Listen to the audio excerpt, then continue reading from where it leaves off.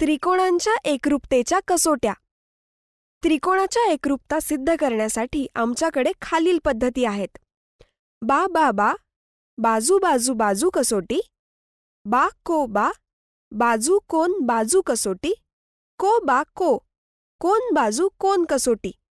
काटकोन करणं बाजू कसोटी.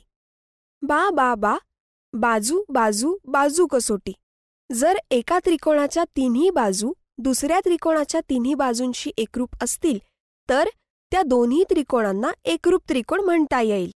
उदाहरणार्थ दिलेल्या त्रिकोण ए बी सी आणि त्रिकोण पी क्यू आरमध्ये बाजू ए बी ही पी क्यूच्या समान आहे बाजू बी सी ही बाजू क्यू आरच्या समान आहे आणि बाजू सी ए ही आर पीच्या समान आहे.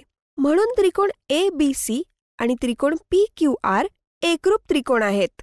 बा को बा बाजू कोन बाजू कसोटी जर एका त्रिकोणाच्या दोन बाजू आणि समाविष्ट कोन दुसऱ्या त्रिकोणाच्या दोन बाजू आणि समाविष्ट कोनाच्या एकरूप असतील तर दोन त्रिकोण एकरूप म्हणता येईल.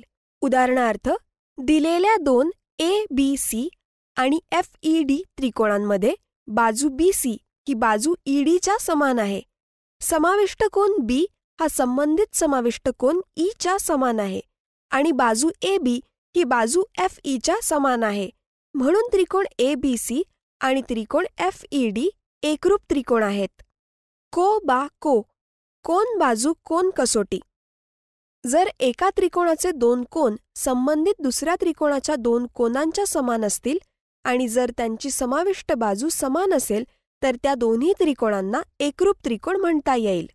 उदाहरणार्थ दिलेल्या त्रिकोण ए बी सी आणि त्रिकोण एक्स वाय झेडमध्ये कोन ए हा कोन एक्सच्या समान आहे बाजू ए बी ही बाजू एक्स वायच्या समान आहे आणि कोन बी हा कोन वायशी समान आहे.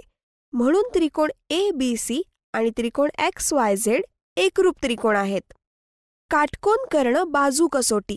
जर एका काटकोनाची बाजू आणि कर्ण दुसऱ्या संबंधित काटकोनाच्या बाजू आणि कर्णाशी समान असेल तर त्या दोन्ही त्रिकोणांना एकरूप म्हणता येईल. उदाहरणार्थ दिलेल्या त्रिकोण डी ई एफ आणि त्रिकोण एल एम एनमध्ये कोन ई आणि कोन एम काटकोन आहेत. कर्ण डी एफ हा संबंधित कर्ण एल एनशी समान आहे आणि बाजू ई एफ ही संबंधित बाजू एम एनशी समान आहे. म्हणून त्रिकोण डीईएफ एफ आणि त्रिकोण एल एम एन एकरूप त्रिकोण आहेत.